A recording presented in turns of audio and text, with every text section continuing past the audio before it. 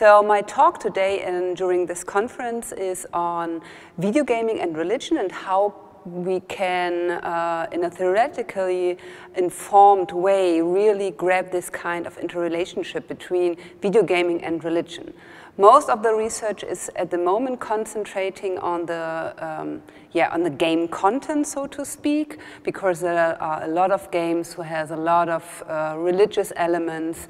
Uh, yeah, for one famous example is Bioshock Infinite, and where we have uh, this concept of redemption or where the player or the the, the avatar has to fulfill a baptism or has to be baptized to go further within the gameplay.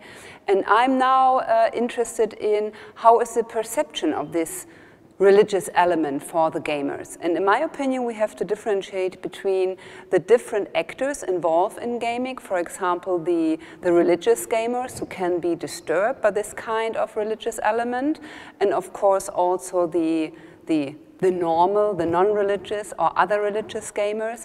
And in my research, it was interesting because I did, uh, I conducted a lot of interviews uh, concerning this game, and that the majority of the gamer didn't recognize uh, the, the ritual as such.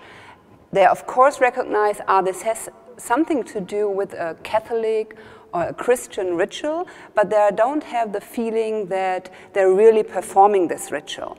They are mostly they criticize um, or they recognize that the, this element, for example, the baptism has to do something for, uh, with churches and power abuse, but they didn't have the really feeling that they're performing a ritual. So for me, it's a kind of indicator that you have to be really careful and also integrate the gamer's perspective and not just to focus on the games. So you have to have both perspectives, so to speak.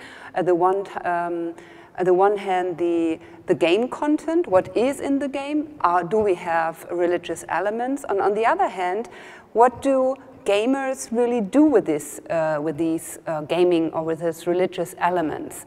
And of course, we have to distinguish further elements or further actors involved in the game. For example, the, the video games designers, what were their intention? Was it really explicitly that they are um, using religious element or was it just uh, for example, in the Middle Age, it's quite common that you have a figure like the Pope, and the Pope isn't really nice for to the people. So, do they have just uh, as a as a kind of framing or as a decoration, or do they really want to integrate explicitly religious elements? And on the one, on, uh, on the, the other hand, you have of course also religious gamers who can, of course, have some problems playing this game, especially the baptism game, who really caused a huge uh, media um, discussion on the relevance and also on if it's right to really integrate these games.